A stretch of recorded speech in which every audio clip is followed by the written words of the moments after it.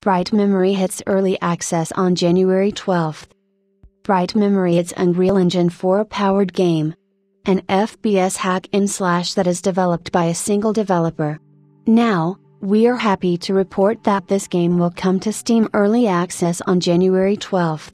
In case you weren't aware of, Bright Memory will be a single player game with linear levels, and will allow players to use both guns and swords in order to alienate their enemies.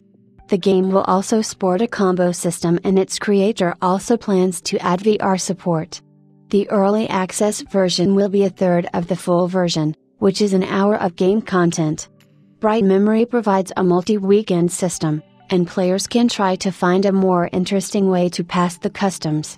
Early access of the game's combat system has been in line with expectations, and will be similar to the one featured in the full version.